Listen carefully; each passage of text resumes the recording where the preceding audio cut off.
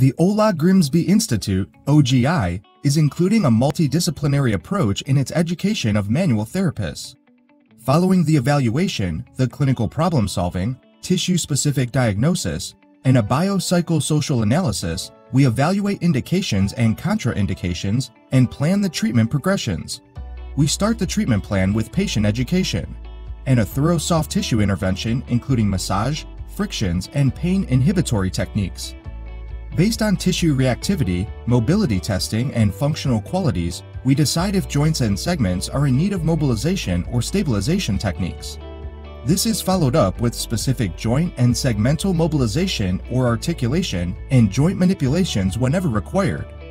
We use the receptors in skin, connective tissue, and muscles to inhibit pain and muscle tension and to give the optimal stimuli to the tissue in need of healing. Biomechanical and nutritional stimuli is different from tissue to tissue, and we are consequently treating patients according to cellular responses.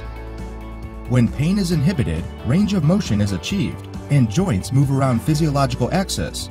We focus on the general coordination of motion.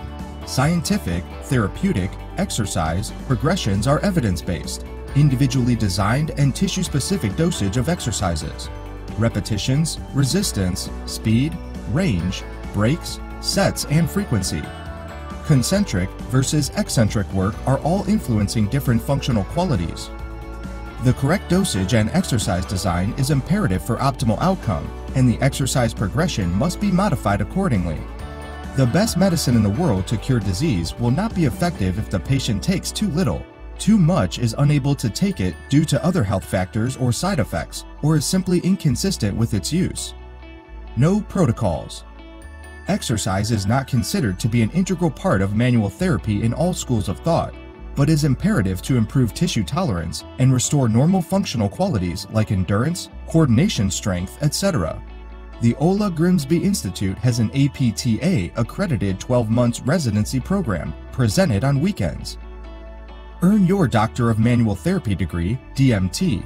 We are also offering a 12 month accredited fellowship qualifying you for fellowship in the AAOMPT and meeting the IFOMPT standards. On top of that, you may complete a third year of advanced clinical competencies. Complete your dissertation and earn your PhD. We have been leaders of manual therapy education for 40 years, and our team of 35 instructors are currently teaching in the US, Europe, and Asia. With more than 70,000 course participants, 900 residency and fellowship graduates, and more than 60 PhD dissertations in progress, we can help you reach your goals. Welcome to the Ola Grimsby Institute family.